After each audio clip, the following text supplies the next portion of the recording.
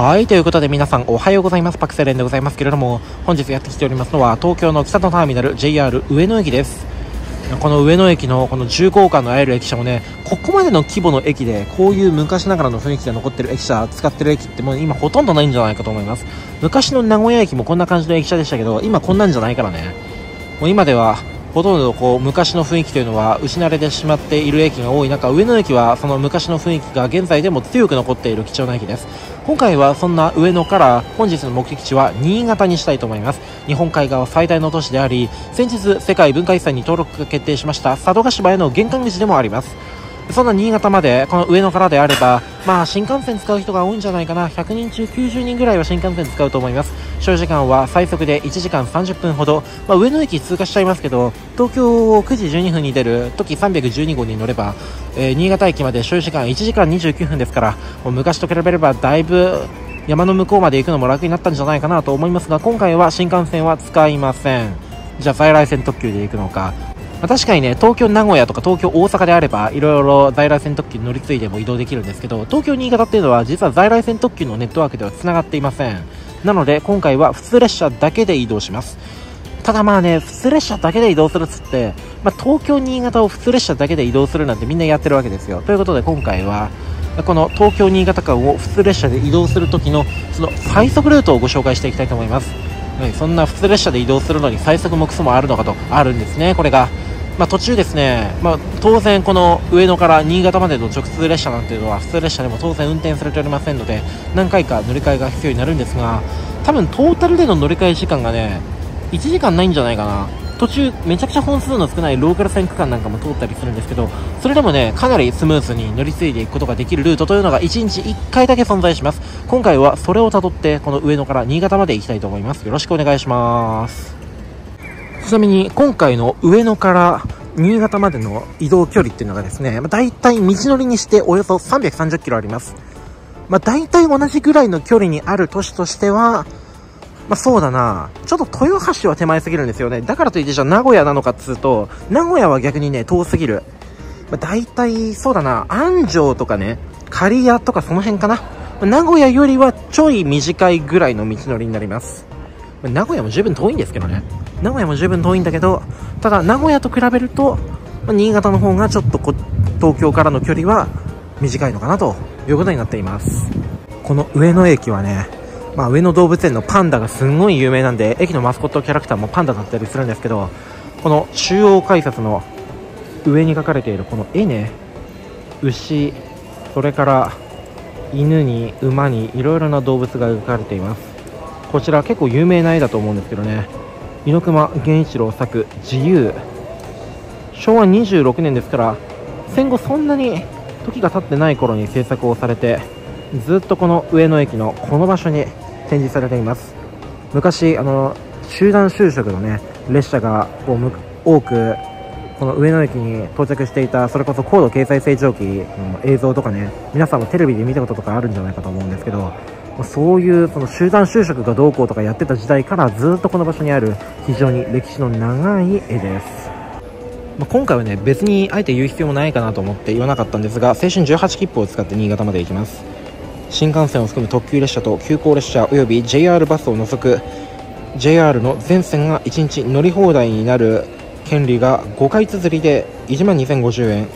神みたいな切符ですよ。コスパ抜群。鉄道マニアみんなこれ一度は使ったことあるんじゃない？今回は、えー、上野から新潟まで行くということでこのさっきね改札口を通過して今日8月3日なんでねこの場所に印を押してもらいました。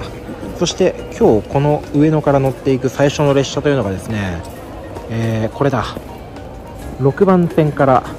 5時13分発高崎線の普通列車高崎行きです。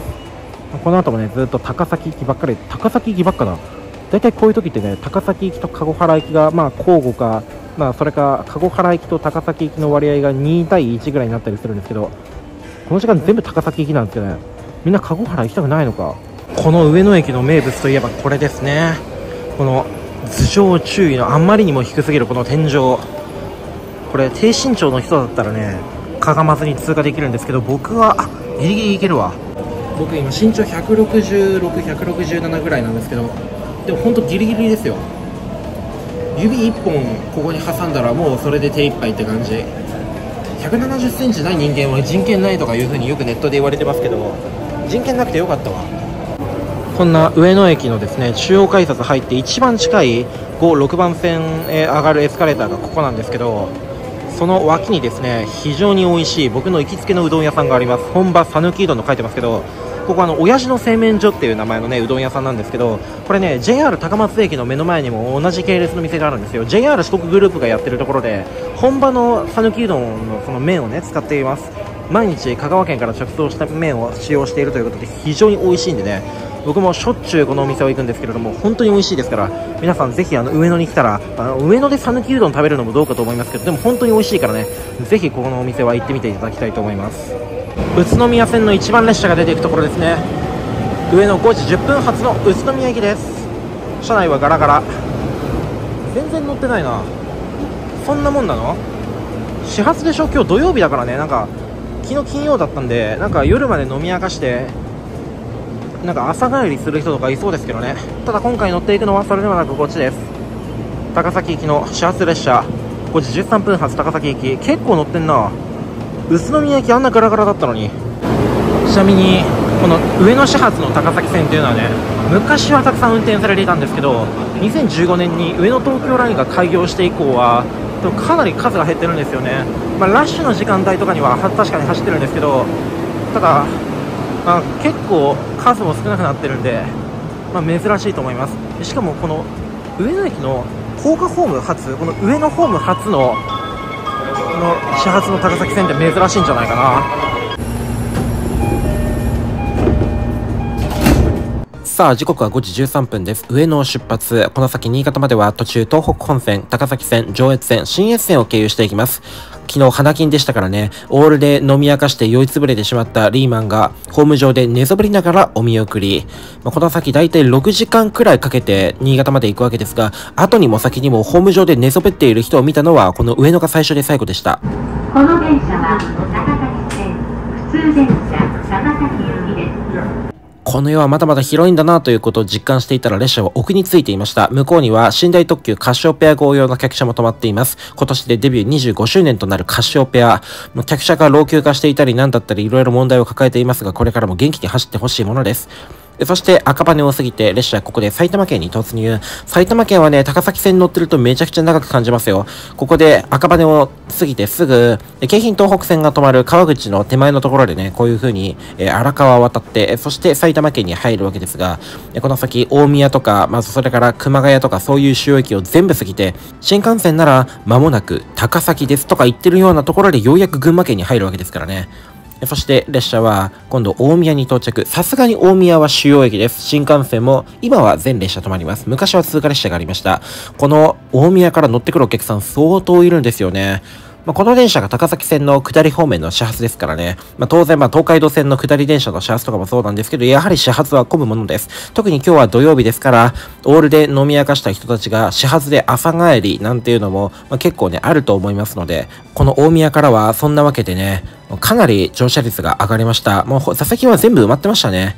そして大宮を過ぎて進行方向左側に見るべきはやはり鉄道博物館。400系や E1 系など、かつて JR 東日本管内の新幹線で活躍した車両たち、あとそれからね、この本館の中にもあの昔の200系とか EF66 とかそういったものが多数展示されています。日本の子供たちにとってもう未来しかない場所ですよね。もう僕も何回か行きましたけど、最近行ってないからまた行こうかな。お、向こうは川越線です。どう見ても最強線ですが、ここはれっきとした川越線の線路を走っています。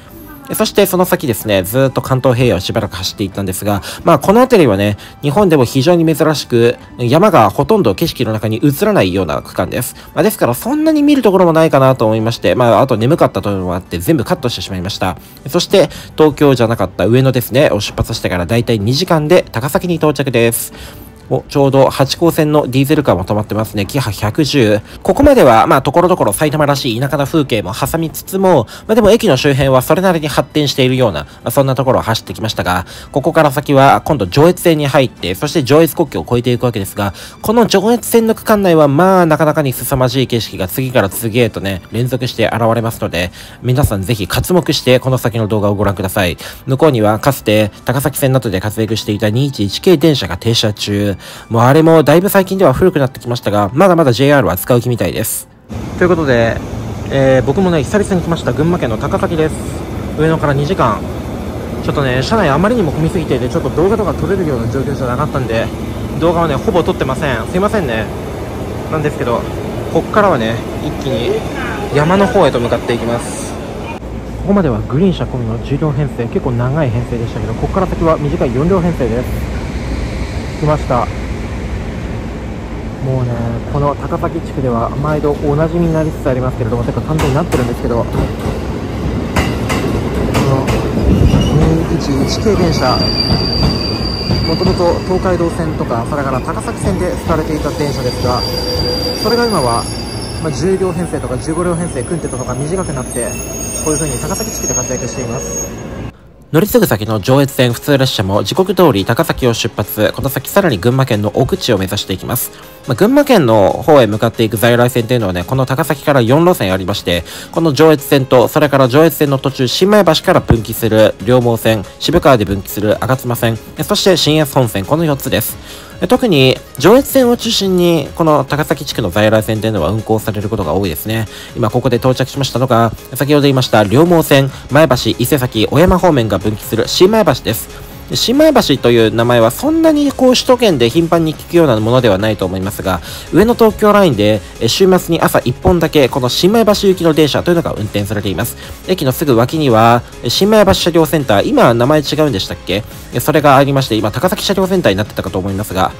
結構ね、大きい車庫があって、この辺りで活躍している電車がたくさん置いてあります。そして新米橋で両毛線が分岐した後列車の本数は一気に減りましてこの辺ではだいたい1時間に1本かまあせいぜい多くて2本という感じのところになるんですけれども続いて到着しましたこちらは伊香保温泉の玄関口渋川です特急草津島号も停車をする主要駅で、ここでも観光客がちらほら降りていく様子を見ることがあります。まあ、しかし本日は全然そんな気配は見られません。ずーっと高崎から同じようなお客さんばかり、車内は相変わらず混雑をしています。ここで列車は利根川を渡って、そしてさらに群馬県の奥地へと走っていきます。今の鉄橋は有名な SL の撮影スポットらしいですね。この辺りは利根川の河岸段丘の上を走っていきます。皆さんも河岸段丘という地形は多分小学校か中学校の社会の授業で習ってるんじゃないかなと思いますが川がどんどん土地を削ってそしてそれが段々のようになり川から離れるに従って少しずつこう標高が上がっていくようなそういう地形のことを河岸段丘と言います。ここ群馬県の沼田とかがね非常に河岸段丘としては有名な地形かと思いますがそれを感じながら列車は水上の街の中に入ってきました。ここで見えておりますのがその利根川が作った非常に美しい渓谷諏訪峡でこの辺りがおそらく個人的には水上南の上越線で最も美しい景色の区間だろうと思っています。ここにかかっているこのなんか横浜のベイブリッジみたいな社長橋もね、これもまたいい味を出していてかっこいいですよね。この橋がなくてもまあ十分に諏訪橋は美しいんですが、これがあることによって景色にアクセントが生まれているようなそんな気がします。そして高崎を出発してから1時間少々で群馬県最北の町水上にやってきました。上野駅を Suica で入場した人はここでゲームオーバー。この先 Suica は使えませんからね。この先まで Suica で行ってしまった場合は下車駅にて現金生産となります。そして、この水上までで、基本的には関東の空気は終わりということになっておりまして、この先はいよいよ群馬県と新潟県の県境に横たわる険しい谷川連峰を越えていきます。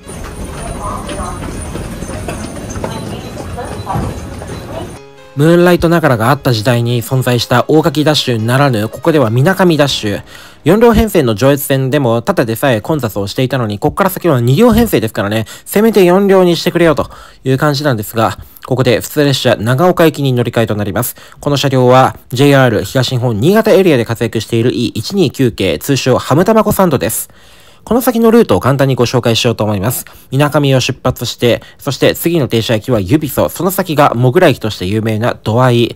で、この指ソから先の区間、この JR の線路が通っていることを示す白と黒のラインがこう二つに分かれていることがわかるかと思いますが、この指ソから先、谷川連峰を越えるまでの間、上越線の線路は二手に分かれることとなります。この左側のね、比較的まっすぐ走っているのが、これが現在の上越線の下り線。そしてそのお隣を走っているのが上越線の上り線です。この辺りでは上越線の上り線の方が先に建設をされました。昔は単線運行だったんですが、その後の時代に輸送力増増強のために伏線化工事がされまして、その時に建設されたのが現在の下り線です。その先も線路がぐるっと大きく一回転をするループ線や大きなカーブを描いて標高を稼ぐ大カーブなどを使ってこの先山を越えて越後湯沢を目指します。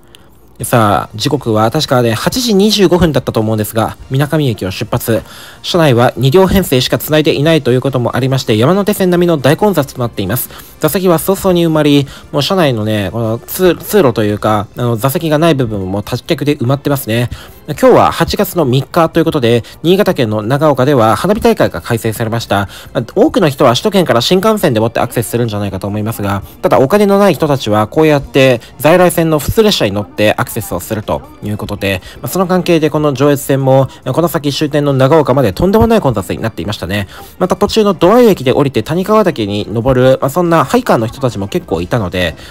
途中の度合いで、まあ、ちょっと混雑は緩和されたのかなという印象がありますが、しかし全体的には本当にこれ上越線なんですかと、もう疑ってしまうぐらいにはかなり列車は混んでましたね。そして、だいぶこんな感じでもう山の奥の方へと分け入っていきました。普通に考えたらもうこの辺りで携帯は県外になりそうですが、携帯キャリア各社の皆様のご尽力のおかげで、この辺りでも普通にスマホは使えます。そして長い長いトンネルに今入ったところで列車は最初の駅に到着。こちらが指曽です。なかなかえげつない名前ですけどね、この指曽駅。下りホームはトンネル内に、上りホームは地上にあるという全国的に見ても非常に珍しい駅ですが、こういう駅がこの辺りでは2つ連続しています。まあ、指ソも非常にね、こういうトンネル内にあるモグラ駅としては有名なところではあるんですが、しかしこのお隣は非常に有名な超レジェンドモグラ駅ですから、正直ね、指ソなんていうのは、まあ、霞むわけですよ、その駅に比べればね。ということで、やってまいりました。次の停車駅、ドアイです。多分もうそろそろね、ホームが現れるんじゃないかと思います。昔は、この、トンネル、今これがね、新清水トンネルっていう名前なんですけど、この新清水トンネル内で前を走る遅い列車を後ろからやってくる列車が抜くということがありまして、その頃の関係でね、現在でもこのドアイ駅のあたりだけはトンネル断面がかなり広く取られているんですが、現在では上越新幹線が開業していますので、特急列車などのお客さんはみんな新幹線に移行し、今では貨物列車とそれから普通列車が1日に何往復か走るだけということで、このあたりもその昔のホームを塞いでですね、そして新しいホームを建設し、このトンネル内での追い越しなどができないような構造になっています。ドア駅下りホームから地上まではおよそ400段以上の階段を登っていく必要があります。そして、その新清水トンネルを抜けましてやってきました。ここが新潟県の湯沢町です。トンネル内とそれから外気温の差が激しすぎてね、こういう風にこう窓が結露しちゃってますけども、そんなおかげで、こういう風にセルフモザイク。まあ、この辺は別にモザイクかけなくてもいいですけどね。まあ、ただ、まあ、この先、エッジゴユーザーとかでは結構な数のお客さんが乗ってくると思うので、そういうところでモザイクかけるのもめんどくさいからね。まあ、こういう風に、窓が自分でモザイクをかけてくれるのは大変ありがたいです。と言ってたら、もうすぐ晴れちゃいました。今やってきたのが、越後中里ですね。多分越後中里でやってると思うんですけど、そうですね。中里スキーセンター。この辺りはスキー場が非常にたくさんありまして、いかにもパリピな雰囲気の若者たちがスキー板やスノーボードを持って首都圏各地から集まります。それだけこの辺りの雪質っていうのがいいんですよね。そして列車は上越国境を越えて最初の主要駅、こちら越後湯沢に到着です。越後湯沢はもう泣く子も黙る超主要駅ですよ。新幹線も止まるからね。まあその割には緑の窓口潰されたんですけど、なんでここの緑の窓口潰すかなと、本当に疑問ですよ。絶対必要だと思うんですけどね、越後湯沢の緑の窓口。あれなんでね、必要ないっつって潰されてしまったのか僕には理解ができませんが、まあどうせ JR の上層部の人間たちが考えていることなんて我々一般の鉄道オタクには分かりっこないんですから。だから確かにね、越後ユーザーの緑の窓口がなくなってしまったというのは非常に残念だし、また大変めんどくさいことでもありますが、なぜなくなってしまったのか、そこをわかる必要はまあないのかなと思います。いちいち考えるのも時間の無駄ですからね。そして次の停車駅は上越国際スキー場前ということで、あまりにも駅が長すぎます。これ多分 JR 東日本管内で一番長ったらしい駅名がここだったんじゃないかな。高輪ゲートウェイとかもまあまあ長いですけどね。しかし、それを上回る東日本で一番の長い駅名がこの上越国際スキー場前です。さあ、やってきました。そんな上越国際スキー場前。まあ今はね、思いっきり夏ですから、8月ですから、そんなスキー場なんてやってるわけがないんですが、ただ冬になれば、新幹線から乗り換えてきたお客さんたちが、この上越国際スキー場前の駅でドーッと一気に降りていきます。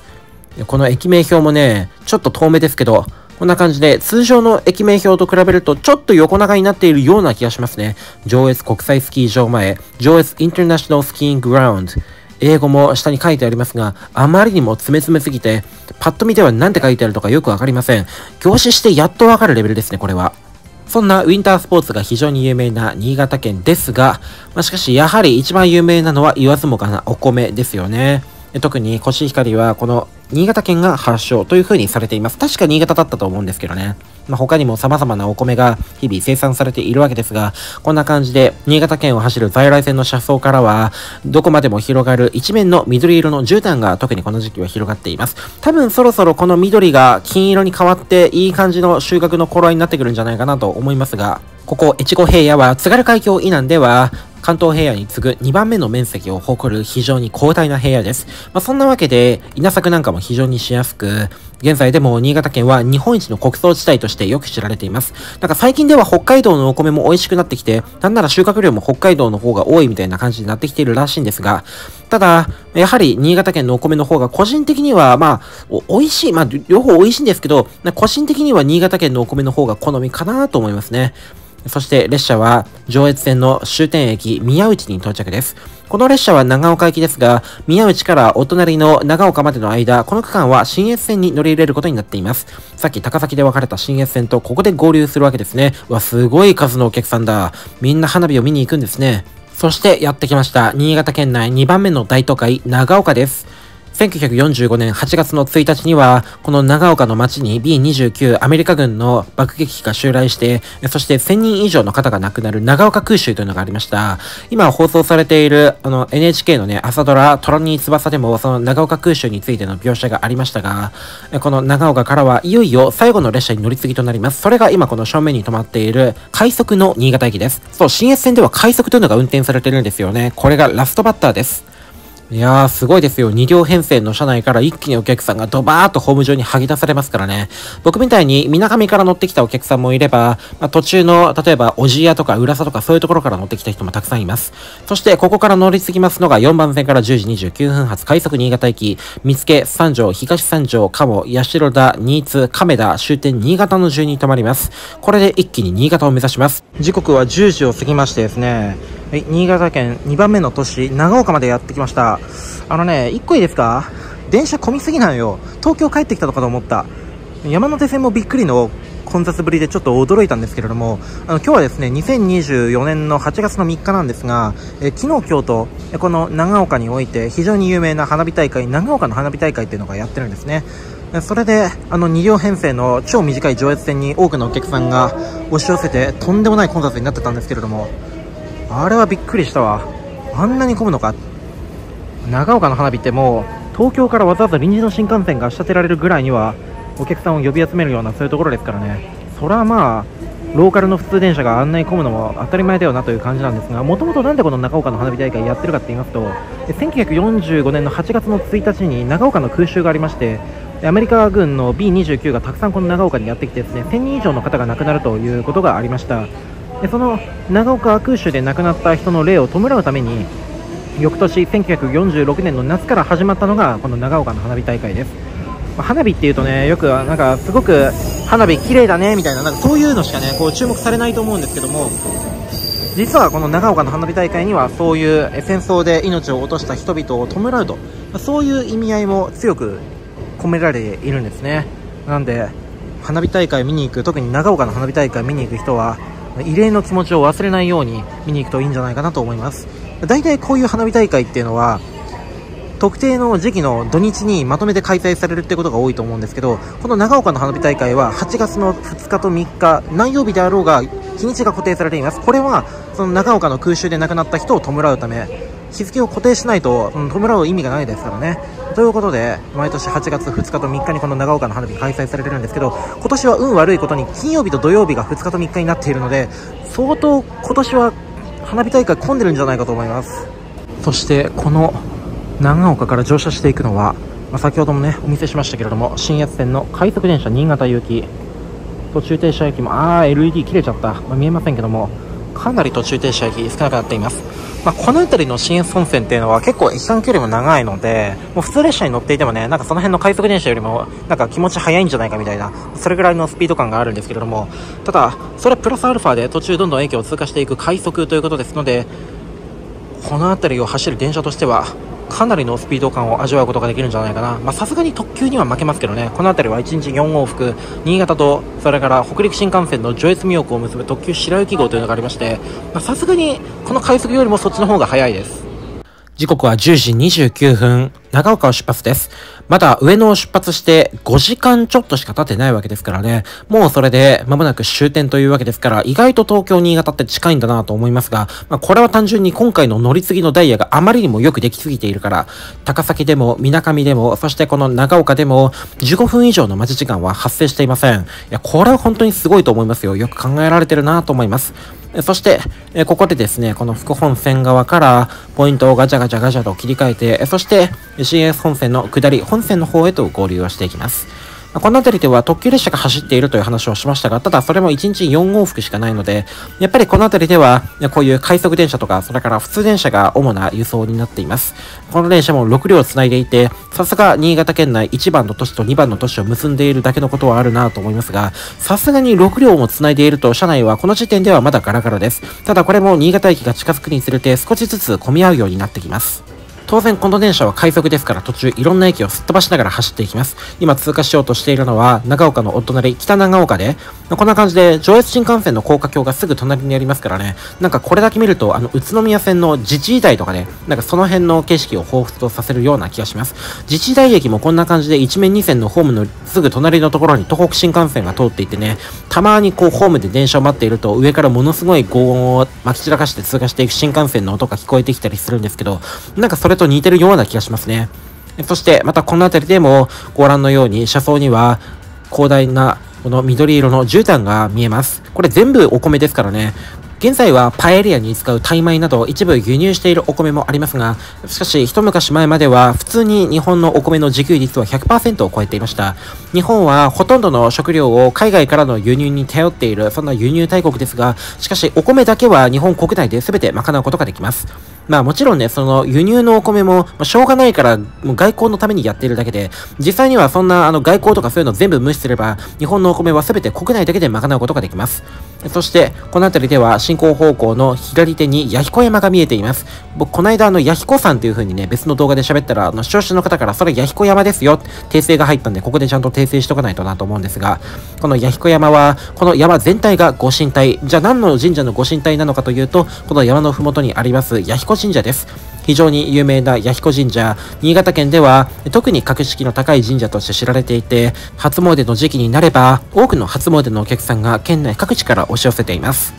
そして、その弥彦神社へ向かうお参りのお客さんを乗せるために建設された三京鉄道こと JR 弥彦線が合流してくると、今度到着します東三条に着きます。この東三条駅はこんな感じで2面4線の構図になっているんですが、一番左側のホームが、これが弥彦線のホームですね、0番線。0番線というと、なんか京都駅とかのイメージが強いと思うんですが、この東三条駅も、弥彦専用ホーム0番線が設けられています。またこの弥彦線の他にもね、全国いろいろなところに産経鉄道というのは存在しておりますが、その中でもこの弥彦線とか、あとそれから神奈川県の京急大線とかはね、かなり歴史が古く、この弥彦線も新潟県内の鉄道路線の中ではトップクラスの古さを誇っています。他に京成本線や伊豆箱根鉄道大雄山線、あとは廃止されていますが、旧国鉄大社線なんかも非常に有名な産経鉄道です。そしてここで反対側からちょっと珍しい列車がやってきました。いやまあ毎日運転ですからそんな珍しくもないんですけど、ただ本数が少ないからね、新潟からやってきました上越妙高行き特急白雪号です。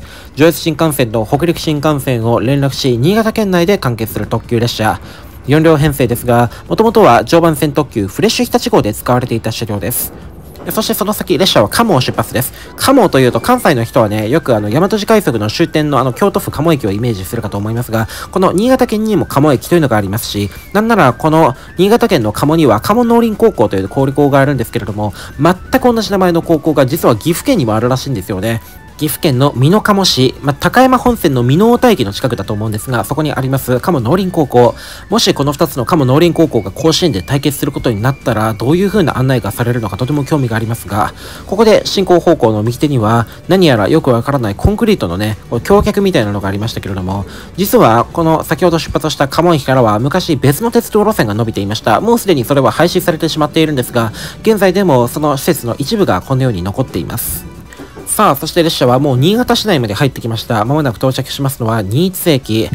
日本を代表する鉄道の街として有名ですね。この動画の冒頭で通過した大宮もそうですが、この新津は4方面に列車が出発をしていく新潟県を代表する鉄道の要衝と呼ばれる駅になります。この新津からも多くのお客さんが乗ってきますね。この新津から新潟までの区間が多分この新潟県内の CS 本線の中では一番混みやすい区間になるんじゃないかなと思います。実際にこの新津から新潟まで、新潟市内で完結をする CS 本線の列車なんかもたくさん運転されていますからね、この区間の需要がいかに大きいのかということが、このホーム上で待っているお客さんの数を見てわかるんじゃないかなと思いますが、ここで進行方向の右側に1本線路が分岐をしていきます。あちらは JR ウエス本線。この新津を起点とし、柴田、鶴岡、酒田を経由し、最終的に秋田までを結ぶ非常に重要な日本海側の路線ですが、この柴田から新津までの区間というのは、基本的にあまり本数が多くなくて、かなり閑散としています。特急列車稲穂号が上本線では運転されていますが、ただそれは新潟を始発としており、新潟から柴田までの間は、上本線ではなく、白新線というまた別のバイパス路線のようなところを通っていくので、上本線の南端に相当する柴田から新津までの区間っていうのは、なかなか列車本数も少なくてですね、結構乗車難易度も高いようなところになっています。僕もあの、上本線のね、柴田から秋田までの間は特急稲穂号とかで何回も乗ったことあるんですけど、このね、新津から柴田までの区間っていうのは乗ったことないんですよね。僕も早いとこ乗ってみたいなと思いますが、なかなかこういうところに来る機会がありませんので、僕もまだ乗ることができていません。進行方向右手に新潟車両センターが見えてくると、いよいよ間もなく終点の新潟に着きます。もともとは、上塗ったり検釈みたいな名前だったと思うんですが、現在は新潟車両センターに名前が変わっています。この新潟から白新線を経由し、日本海側を北上していく特急稲穂号で使われている E653 系や、この辺りの在来線で活躍する E129 系、あとは非電化路線で使われている GVE400 系というディーゼル機動車なんかもね、この新潟の車両センターにはたくさん止まっています。そんな車両センターを過ぎると、今度進行方向の右手には上越新幹線の回送線が見えてきます。この区間をお客さんを乗せて新幹線が走るということはありませんが、この線路は新潟駅からその先にある新潟新幹線車両センターまで回送列車が走行する線路。これを新潟空港まで延伸して空港アクセス路線に活用しよう。まあ、そういう構想もあります。ただ実際それが現実になるかどうかはわかりません。そして列車はいよいよ終点の新潟駅に到着です。昔は新幹線はね、もう開業当時から高架だったんですが、在来線は地上ホームに発着をしていました。昔はね、それこそあの、稲穂号は4パー合計だったし、この列車も E129 系じゃなくて115系という国鉄時代に製造された古い電車が使われていたしで、この新潟地区では新幹線以外みんなもう車両がね、古いものばかりという状況だったんですけれども、ただそれも今ではこんな感じで新しいピカピカの電車が多数出入りするようになり、また駅も高架化されて新しくなり、昔の古めかしい新潟駅の雰囲気はもう完全に消えてなくなってしまいました。しかし、この新潟は人口80万を数える日本海側最大の都市です。そんな新潟を走っている電車が国鉄時代から使われ続けているそんな古いものばかりでいいのかという気もしますので、まあ、全般的にはこういう風に電車がどんどん新しくなっていくのはいいことだと思いますさあということで上野を出発してから6時間と16分で今回の目的地新潟に着きましたえ新潟駅もだいぶ変わりましたよね。こんなアーチ型の屋根なんてついちゃってしかもホームは全部高架です。昔は、まあ、新幹線はねできた当時から高架だったんですけど在来線は全部下のね地上ホームだったんですがこれも数年前に全部高架の上に移りまして今のような姿になりました。昔国鉄型の車両がたくさん発着していた頃の新潟駅を僕は全然知らないんですけどいやでもなんか時代はどんどん進んでいくんだなということをこう新潟に来るたんびに感じます。この間新潟来た時はねまだあの南口のバスターミナルと磐梯口側のバスターミナル繋がってませんでしたよ。磐梯口のバスターミナルのあのスイッチバック形式のあの発着場も今もうないからね。ということで今回は東京上野からここ新潟まで在来線を乗り継いで行く場合の最速ルートについてのご紹介でした、まあ、上野駅5時13分発の高崎線なんでね、まあ、かなり朝早いんですけれども皆さんも興味があればぜひこの新潟へおいでの際にはこの乗り継ぎルートを使ってみるといいんじゃないかなと思います、まあ、今日はねちょっと長岡花火の関係で途中上越線がとんでもない混雑になってましたけれどもましかし普段であれば普通にこう座席ありつけるぐらいの混雑で落ち着いてるんじゃないかなと思います。少なくともあの山手線の通勤ラッシュを彷彿とさせるような混雑率にはならないと思いますので、まあ、ぜひやってみるといいんじゃないかなと思います。向こう側に止まってる新幹線よりも圧倒的に時間がかかりますけどでも上越新幹線はトンネルばっかりだからね。こう新幹線からでは眺められない景色とかもたくさんありますんで、まあ個人的にはね新幹線ももちろんいいんですが、まあたまにはこういう在来線でのんびり時間をかけてゆっくり行くのもいいんじゃないかなというふに思います。ということで今回の動画はここまでご視聴くださいましてありがとうございました。また次の動画でお会いしましょう。ありがとうございました。